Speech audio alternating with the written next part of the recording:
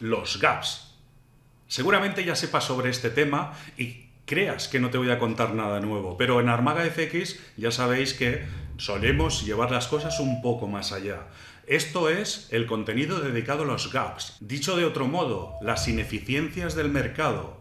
Y no tan solo te voy a contar que es un hueco o un vacío en la negociación, es decir, que en uno o varios niveles de precio no se ha cruzado negociación, sino además te voy a contar, operativamente hablando, qué significado tiene este vacío, qué datos debemos de tener en cuenta y en sí entender este evento que se produce en los mercados financieros. Detente, para un momento, antes de ir a por el contenido, déjame decirte que acabamos de estar reunidos, sí, sí, he, he cortado el vídeo, lo he editado todo para montarte y avisarte de esta novedad, que ahora te comento. ¿Te, acuerdas cuando estuvimos haciendo la cuarentena Trading Week, estuvimos ahí un tiempo juntos aportando valor? Bueno, eh, se nos ha ocurrido hacer algo similar para este verano.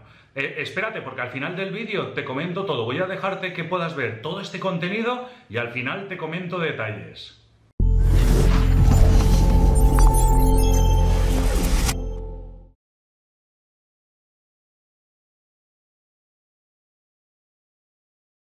Sí, los gaps los identificamos como una ineficiencia del mercado, eh, porque se quedó pendiente de negociar uno o varios niveles de precio.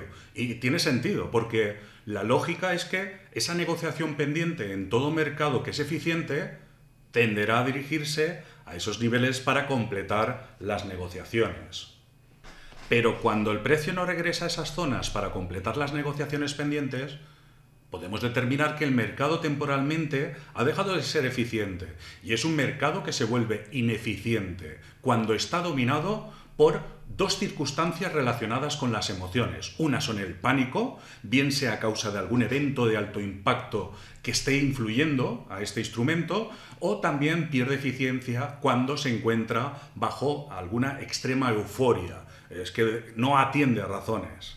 Son estos dos puntos en los que nos refleja que el mercado pierde esa ética y deja de ser eficiente, mientras se encuentra bajo el dominio de estos dos parámetros. Vale, vamos a cambiar de cámara y así lo que vemos ahora son gráficos, gráficos, gráficos y más gráficos. Vamos a hacer un ejercicio rápido porque es importante que primero reconozcamos o identifiquemos la liquidez que tiene nuestro instrumento, porque eh, instrumentos con una menor liquidez eh, tienden a tener más gaps pequeños como estos que vamos a empezar, porque primero vamos a empezar a ver de menos a más estos vacíos de negociación que existen dentro del gráfico. Y para empezar a identificar los que son en más pequeña escala, eh, vamos a empezar a trabajar identificando lo que es, como digo, la liquidez que tiene nuestro instrumento. Vamos a hacer un ejercicio rápido. Esto es el gráfico del GC y eh, vamos a analizar esa liquidez. Vemos que eh, estamos trabajando en cada parte con un par de dígitos. estamos en 38, 41, 29. En algunos momentos vemos que alcanzamos los tres dígitos em, de una forma un poco tímida, ¿no? Ciento y pico, 200 y pico, 115, 140. Aquí no los alcanzamos, 200. Eh, nos podemos hacer una idea de la cantidad de liquidez. La liquidez eh, debemos de entender que va unida a la participación que tiene este instrumento. Otro, este es el CL. Vemos el CL, eh, tenemos 300, 200 y pico, 200. Eh, ya hay menos niveles de precio con dos dígitos, ¿vale? Tiene un poquito más de negociación este instrumento.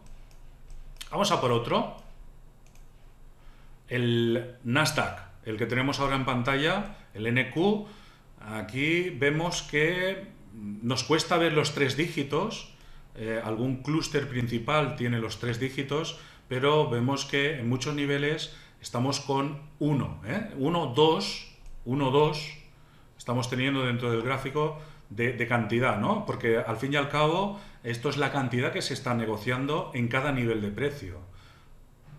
Estoy yendo de menos a más, ¿eh? eh esto es el DAX.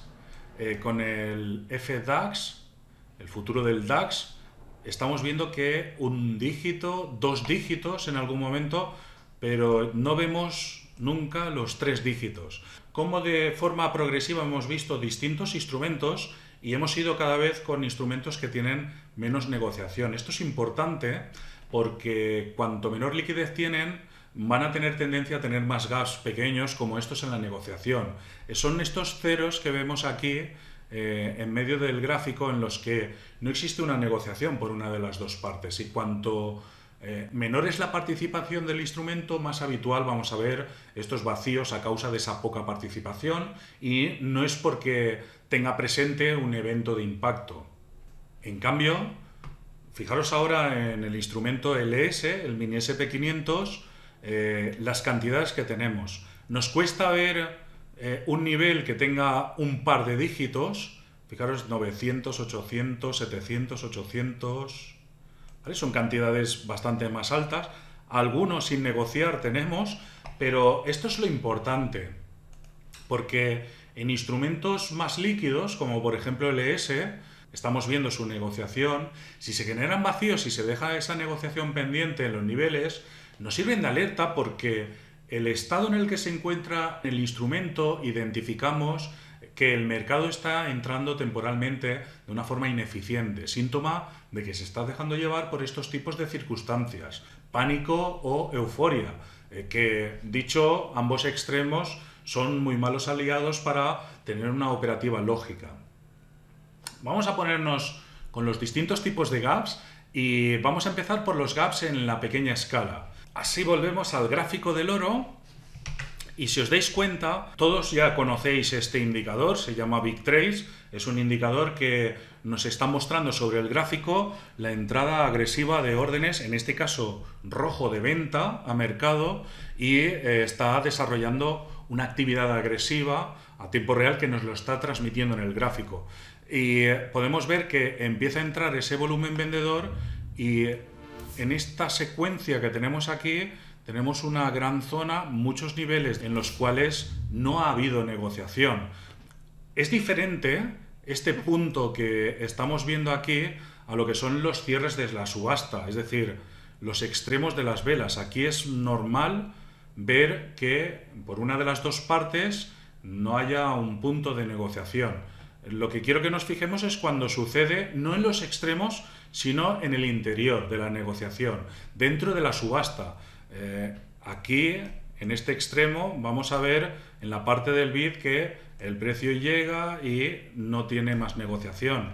En esta parte de abajo vamos a ver que el precio llega y en el ask no tiene más negociación. Exactamente lo que os digo, diferenciar entre la parte que es extremo y la parte que es central de la subasta. Y estos son eventos eh, que vamos a poder ver en la pequeña escala que se producen durante la sesión operativa. Eh, son momentos en los que podemos ver que se producen acciones de agresividad para mover el precio. Eh, un gap de estos pequeños se produce por varios motivos, pero principalmente son causados por una desincronización en el cruce de órdenes o una carencia de liquidez flotante que pueda hacernos de contrapartida. Vamos a ver este primer evento, la desincronización eh, en el cruce de órdenes, en el cual vamos a suponer que en este mismo momento del mercado entren una relación de 789 órdenes de venta a mercado.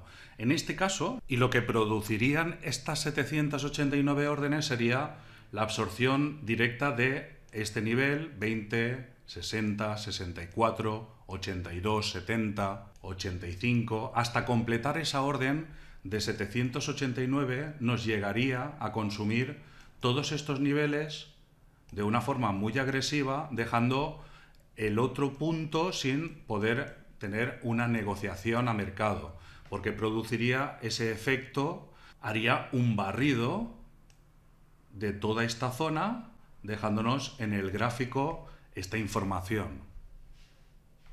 Esta desincronización que tenemos en el gráfico se produce en un barrido, que es cuando está realizándose un acto agresivo efectuando una gran entrada de órdenes a mercado para mover de forma impulsiva el precio. Tengo en pantalla ahora eh, lo que es la guía de la profundidad de mercado, eh, donde vamos a poder pegarle un vistazo eh, a este ejemplo y seguro que lo vas a entender muy muy bien. Imaginemos eh, desde este nivel 3125 hasta el 3131 no exista ninguna liquidez, ninguna orden, mejor dicho, en la cual haga frente de contrapartida a cruzarse con una orden a mercado. en este supuesto, una única compra a mercado podría generar todo este desarrollo del movimiento y además este movimiento estaría generando un gap en la negociación en todos estos niveles de precio donde eh, se podría atravesar y nos dejaría como resultado esos ceros que hemos visto dentro del gráfico de volumen. Una única orden a mercado, si aquí no hubiese ninguna contrapartida, ninguna orden limitada, sería capaz de desarrollar ese vacío de negociación en todos estos niveles de precio. Esto sucede muchísimo y vamos a por otra parte del artículo eh, en estos vacíos de liquidez cuando viene, por ejemplo, un impacto que pueda estar causado eh, por una noticia un evento, eh, se producen estos vacíos y entonces da paso, da pie al movimiento de alta volatilidad. Va a ser una falta, una carencia, como he dicho, de órdenes que no van a cruzarse como contrapartida a la emisión de órdenes que se están inyectando a mercado. Y por lo tanto lo que vamos a ver son esos ceros representados en el gráfico. Otro tipo de gaps que podemos encontrar en el mercado es, por ejemplo, en los momentos de la apertura de la sesión, que se produce ese incremento de volatilidad. También podemos encontrarlo en los cierres de la sesión, cuando se hace el clearing y, abre de nuevo la sesión y hay una cantidad grande de órdenes pendientes de negociar, esos gaps que dan paso entre un día y otro los gaps diarios que nos aparecen en el gráfico. Y por último, y el más grande que podemos ver, es al cierre del fin de semana. Como digo, suelen ser los más grandes. Una noticia o un evento durante el cierre del mercado, durante el fin de semana. Eh, a la próxima apertura puede producir un gap mucho más grande. Los instrumentos que tienen menos liquidez, lo que es igual también que son más volátiles, eh, suelen tener los gaps más grandes. Hay muchos operadores que lo conocen y los operan. Eh, es conocido como ir a por el cierre del gap, eh, porque la inercia de un mercado eficiente es cerrar esas negociaciones pendientes. Vamos a trabajar esta parte y veréis eh, la, situación. Aquí tenemos un gap, es el gap más reciente que tenemos dentro del instrumento. voy, voy a marcaros la zona y así vamos trabajando con ella a medida que os explico. Aquí tenemos ese vacío de negociación del instrumento y Mm, ¿Por qué estoy viendo esto? Vale, porque suele ser al mismo tiempo una zona de engaños o de trampas. Lo primero que te recomendamos e, es evitar operarlos, es decir, tener mucha prudencia al trabajarlos como objetivos, eh, porque podemos ver una intención de cierre, podemos estar viendo una intención de cierre y, y antes de llegar el mercado girarse, ¿lo veis? Antes de llegar el mercado girarse en sentido opuesto o generar, antes de producirse ese cierre, movimientos de muchísima volatilidad, ¿vale? Que lo que hace es que dificulta lo que es su operativa. Aquí tenemos un intento, rebota, vuelve a intentar y el precio finalmente...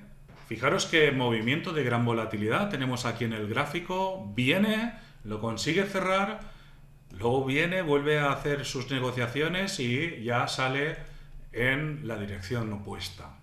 El problema es que no sabes cuándo se van a cerrar las negociaciones, eh, que quedaron pendientes estas ineficiencias marcadas por los vacíos de negociación.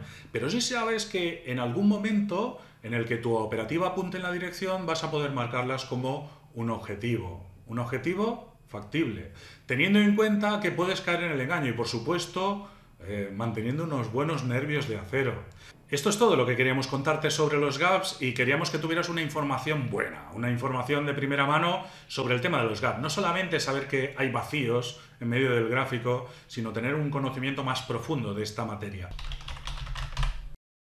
Ah, tenía que avisarte al principio para que pudieras tener este hueco, este espacio donde te pudiera decir, bueno, pues de la cuarentena Trading Week, lo que sucedió es que, como te estaba comentando, eh, que os gustó mucho el valor que se aportó a través de la cuarentena Trading Week. Por ello, estamos pensando, antes de irnos de vacaciones, pues, poder realizar un espacio similar a lo que hicimos eh, aquella vez. Trabajar un poco, daros contenidos de fondeadores, los capitalizadores, daros contenido, por ejemplo, sobre el mapa de liquidez, daros contenido sobre eh, casos prácticos y conceptos teóricos y hacer pues eh, una semanita o dos semanitas eh, en el cual estemos interactuando a diario juntos a través de los directos y que puedas también tener ese espacio donde poder realizar una serie de preguntas o dudas que tengas. Una edición de Summer Trading Week eh, sería algo así, ¿no? Eh, para, yo qué sé, para allá, para allá, para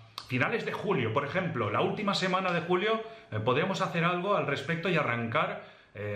y si te parece bien, Así nos lo preparamos un poco. Deja tu comentario, dinos qué te parece, eh, si quieres que lo volvamos a repetir, eh, si tienes interés y así vamos a ver si realizamos este Summer Trading Week eh, para este año, que será el primero en el que arrancaremos una iniciativa de estas características. Bueno, quedamos así, ¿vale? Like y comentario y así vemos qué te parece si realizamos ese Summer Trading Week. Un abrazo.